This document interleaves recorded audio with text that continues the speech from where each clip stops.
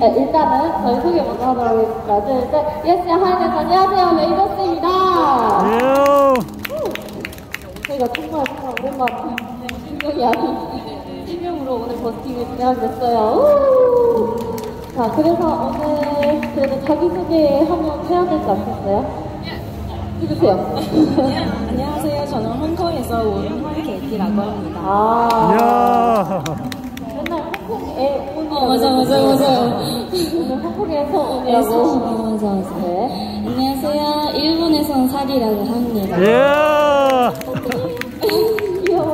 어, 아, 저는 밴쿠버에서 온 제이문이라고 합니다. 만나서 반갑습니다. 야.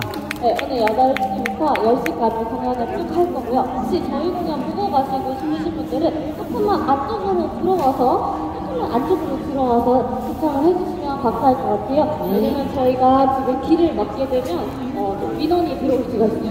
네, 지금 제 목소리가 들리신다는 조금만 이쪽, 이쪽도 조금만 빈 자리를 조금 채워주세요. 앞으로 조금만 와주세요. 네, 보다가 앞으로 가셔도. 괜찮습니다. 네, 좋아요. 왜냐면 여러분들 뒤에 사람들이 지나가야 되거든요. 앞길이나 그래서 야, 또, 또, thank you 감사합니다. 네 그럼 바로 다음 곡 한번 네. 가볼까요? 언니잖아요. 제가 가위바위보 졌어요. 그래서 바로 다음 곡 했는데 어 여러분 신곡 신곡 할까요? 아니면 블랙핑크 노래 할까요? 블랙핑크 노래 보고 싶은 사람 소리 한번 들려주세요. 그리고 신곡이 르세라핌 신곡 보고 싶은 사람 야. 어? 모르겠는데 다시 할게요. 블랙핑크 보고 싶다.